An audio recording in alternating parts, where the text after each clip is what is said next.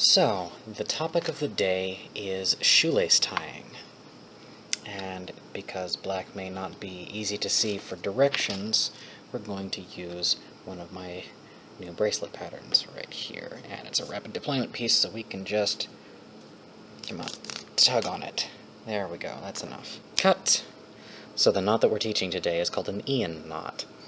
And it is the fastest way to tie a shoelace that I've ever seen. Now, your regular shoelace knot is based on a square knot, which looks like that.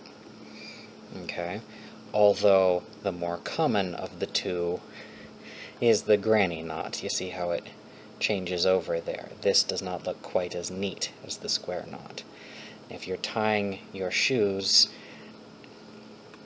and they look in the end like that, you are doing it wrong.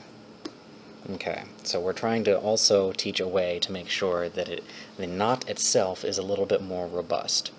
For the Ian knot, you start as normal with what essentially amounts to a half hitch. Oh, we're going to be teaching terms as we go along with this, by the way. This is essentially a half hitch. Going around something once. You could also call that a turn around each other, doesn't really matter. Okay, so now you have to look at what direction this is tied in. You notice that on this diagram, the right side is coming towards me. Okay, now this will be the same no matter how the shoe itself is flipped. You see, if you were to rotate that, it would be the same way. So this would be this person's right side coming towards you. Okay, you want to make sure that the side that comes towards you stays going towards you as it goes around your fingers.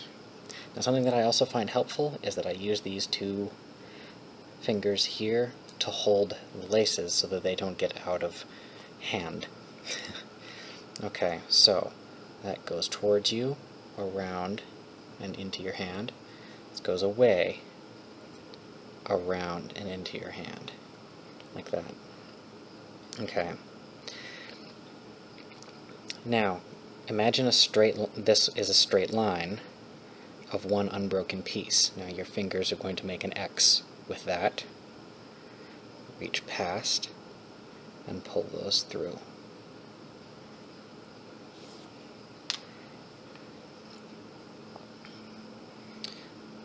Goes in the same direction. Your fingers make an X. Grab the opposing knuckles and pull that through. You may also notice that what you're doing is making eyes and passing them through to each other, eh, through each other. But if you do it without the without the finger hold, you see that gets worryingly short. It's easy to pull that through. Another thing to watch out for is you should not do a handcuff knot that looks like this. It has this extra little cross right there. This is bad because while it appears stronger right now, it is very easy for this to capsize in such a way, like that, where pulling on this pulls that loop out. And it will the it will draw from the standing end. That is what you do not want. Okay, so one last time, start like normal. I see that this side is going away from me, that is going to go around these two fingers, not between them, just around both of them as though they were one object. Yep. Something you can see. Opposite like that. There's an N there. There. X cross. Now, this is also, with the finger hold, a very easy knot to practice. Got it? Good.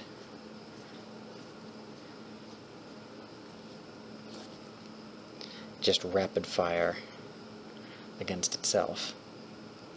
Now when the knot is finished, you'll notice a complete bar over everything. If you flip the knot over,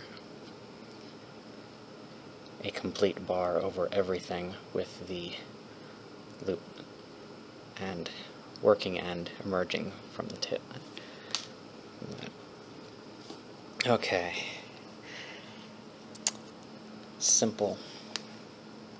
Hey, end of the video spot. So, here's me hoping that you want to see more knot tying videos like this. If you want to, to see how to tie a more secure version of this knot, click here. If you want to see how to do my funny shoelacing, click here.